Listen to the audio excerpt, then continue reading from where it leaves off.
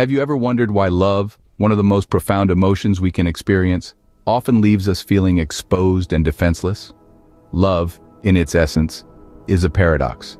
It has the power to make us feel invincible, as if we can conquer any adversity that life throws at us.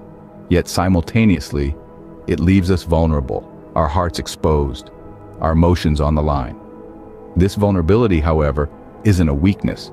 Rather, it's an openness. It's about putting our guards down and allowing ourselves to fully experience both the highs and the lows that come with love. It's about accepting that there will be moments of joy and moments of pain, and understanding that both are integral parts of the journey. This openness to experience, this vulnerability, plays a pivotal role in love. It's the foundation upon which strong, lasting relationships are built. Vulnerability, it seems, is the price we pay for love. But what if it's more than just a price? What if it's the key? Imagine a world where vulnerability in love is not a weakness, but a strength. In this realm, vulnerability is seen as the cornerstone of deep, meaningful connections.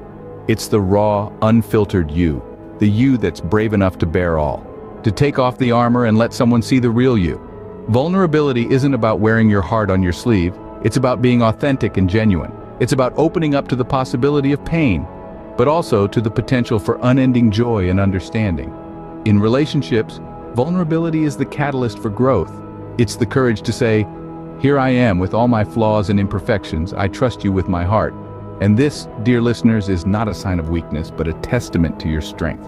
Vulnerability is not about getting lost in the whirlwind of love. It's about bravely stepping into the storm, unafraid of the winds that may come.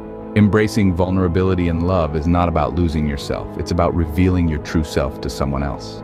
The fear of vulnerability is the fear of the unknown, and love, in its essence, is a journey into the unknown. It's like venturing into a forest at night, armed only with the glow of hope and trust.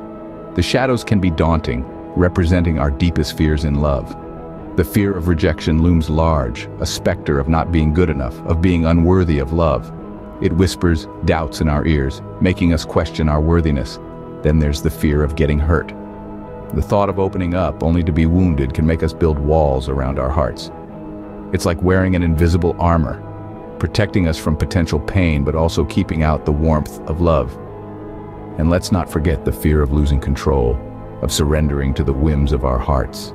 It's the fear of losing ourselves, of being swept away in the current of love. But remember, fear only has as much power as you give it. Overcoming vulnerability doesn't mean becoming invincible, it means becoming brave.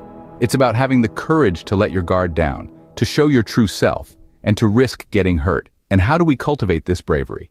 By practicing self-compassion, for one. We must understand that it's okay to be imperfect, to make mistakes, to feel pain. After all, these are the things that make us human. Developing emotional intelligence is another crucial step. This involves recognizing our own emotions and those of others, and using this understanding to guide our thoughts and actions. And finally, we must work on cultivating a sense of security within ourselves. This means building a strong foundation of self-worth that doesn't depend on external validation. But remember, this isn't a race. It takes time, patience, and understanding. It's a journey of self-discovery and growth.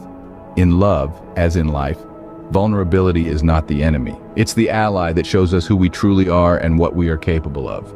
Thanks for watching and please like, share, subscribe, and while you are at it, remember to head on over to lovepinnacle.com for more great love and relationship tips and articles.